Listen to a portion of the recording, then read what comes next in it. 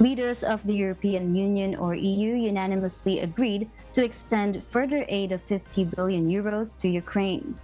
The agreement was announced on Thursday, February 1, during the special European Council meeting in Brussels, Belgium.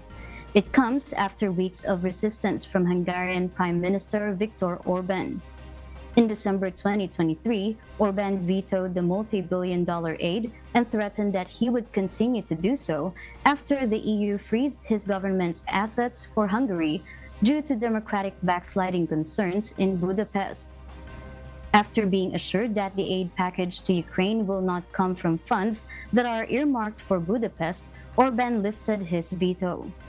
The EU's aid package will run from 2024 to 2027 and Ukraine expects to receive the first portion of 4.5 billion euros in March.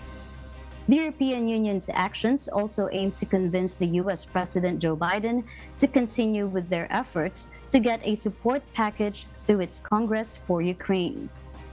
Meanwhile, Ukrainian President Volodymyr Zelensky praised the EU's agreement and commented via X, formerly Twitter, that the financial aid would strengthen his country's long term economic and financial stability.